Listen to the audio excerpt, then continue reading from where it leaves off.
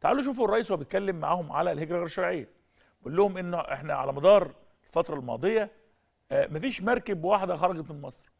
الهجرة غير الشرعية اللي كل دول الاوروبيه بتخشى وبتهاب وبتخاف وبترتجف منها لأن بتعمل تغيير في الخريطة الديموغرافية عندهم والثقافية إلى آخره. الرئيس النهارده قال لهم إحنا في مصر مفيش مركب واحدة خرجت فيها هجرة غير شرعية. إحنا بنحاول معاكم ونجحنا في هذا إن إحنا نمنع الهجرة غير الشرعيه بشكل كامل لكن كل الهجرة بتيجي من الشعوب أو الدول الأفريقية المغلوب على أمرها اقتصاديا نستمع إلى الرئيس. في مصر لم تخرج مركب هجرة غير شرعية بس أنا عايز أقول نقطة مهمة. كل الهجرة اللي جت لمصر من الدول الأفريقية ومن الدول اللي كان فيها مشاكل وصلت حتى الآن في مصر ل 6 مليون. 6 مليون مواطن ومواطنة من أفريقيا ومن دول أخرى حصل فيها عدم استقرار. بس مصر أبت من منظور حقوق الإنسان إنها تسمح بالمزايدة على بالمزايدة ب- بهذه إحنا بنسميهم في مصر ضيوف ما بنسميهمش لاجئين وما عندناش معسكرات للاجئين في مصر.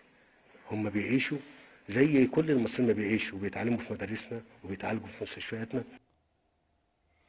ده كلام مهم جدا الرئيس بيقوله إن إحنا في مصر عندنا في حوالي 6 7 مليون آه، لاجئ ما اسمهمش لاجئين اسمهم ضيوف.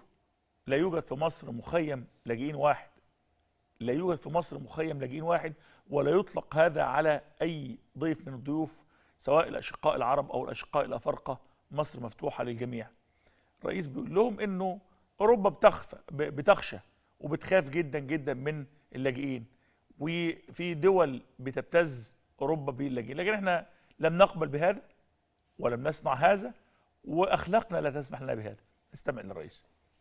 إذا كنا بنتكلم عن الهجره غير الشرعيه فمصر فيها 6 مليون هجرة مواطن غير شرعي. يقيموا في مصر ليس في معسكرات لاجئين ولم نقبل من منظور أخلاقي وإنساني إن إحنا نسيبهم يتحركوا في اتجاه أوروبا ولاقوا ولاقوا مصيرهم في البحر.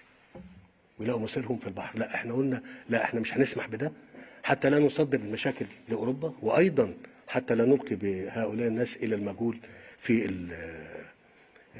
في البحر أو للمجهول للضياع يعني.